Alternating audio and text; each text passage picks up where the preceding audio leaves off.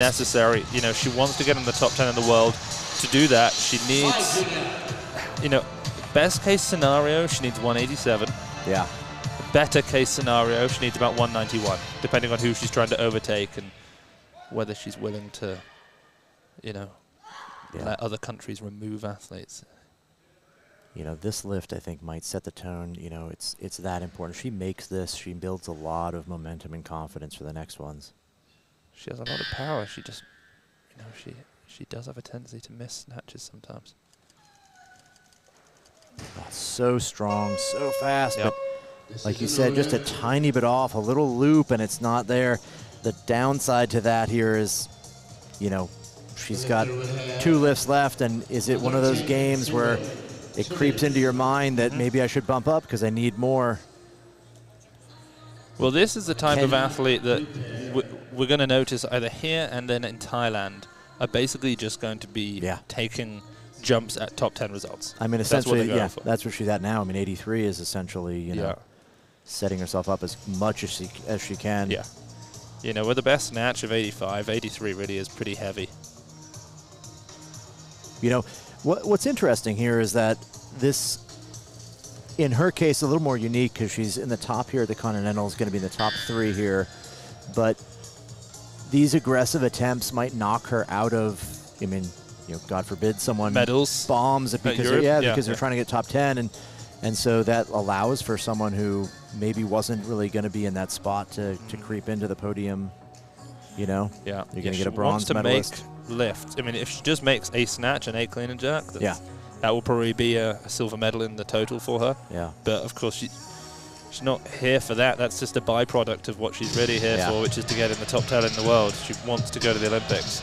Yeah. And right now, you know, Italy's got two, maybe three men in the top 10. If we include Mirko Zanni, he might be in the top 10 at 73s. But on the women's side, they're, they're all, you know, they're all right on the cusp. Yeah. Certainly a fan favorite. A lot of speed, a lot of power. She just has to pull it a little bit straighter, control that on top. Ah, One You know behind, yep. one in front. Well, now it's a tough spot.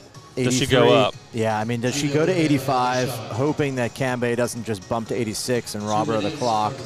Well, let's But just You know, 85 and 100 would just put her in the same spot she was at. So to, So to recap, like some of what we spoke about earlier, she's in 12th in the world. She needs to get into the top 10. Yeah. But we do know that Nina Sterckx is trying to go as a 59. Right now she's ranked at 49. So once we remove her, Giulia moves up to 11th. Yeah. So she only has to move ahead of Cheng Jin Lin Yeah, she needs 187. to get into 10. She needs 187. I mean, at, at this moment right now, if you're a coach in the back, you're on the Italian team, you understand that 187 is the only logical number to yeah. be trying. Do you do 83 again and then try and hit a 104 PR? I mean, do you go 86 and then only have to do 101? Do Yeah, you do 84 and, and 103? I, I mean, I think you stick with 83, well, being that two attempts Yeah, at it yeah. haven't succeeded, a third, I mean, but it's not a strength thing. it's a question, right? Is it is it the third at 83, 84 wouldn't be any different? Or even 85 even? yeah, I don't think it would look different. You know, she, I, I believe she made 85 on her opening attempt uh, just, you know, a couple of months ago Yeah. in uh, in Doha. Yeah, she's 85, then took two shots at 87 and, and, and missed. you know, and now it's a now it's a question too of are you going to try to salvage a medal here? Yeah. I mean, she has to make a snatch to even be in the running for a medal. Yeah. You know, she could she could potentially knock herself out of out of that place with this big opener. So Giulia has made 36% of all of her snatch third attempts. Yeah, it's So 36%, it's not doesn't bode well no, for no, it a doesn't. successful lift here, but you know, it's a non-zero percent chance. So she could make this. She's got the speed, has the power.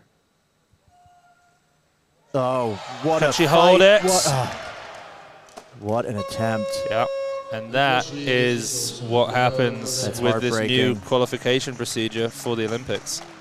You You're know, the athletes who are on the cusp are going to just take these massive shots to try and get in. And, you know, we're going to see more of this at this European Yeah. Championships. We saw a lot of it in Uzbekistan at the Asian Championships last week. And It's brutal. It's going to happen. It's yeah. a it's a brutal a brutal event here. It's it's so challenging.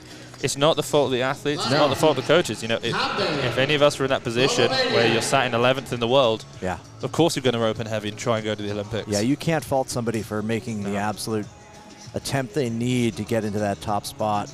It's tough. I mean, uh, there's that third Oh, attempt. So close, just toe on her toes too much. See the emotion. She knows. Okay, I've got. I have one more chance at this, and it's in Thailand in yeah, in two months. In under two months, she's going to be trying this again. I mean, it's brutal. that's not enough time to. You know, she's not running a big program there. She's got to. Yeah. These athletes have to stay in shape.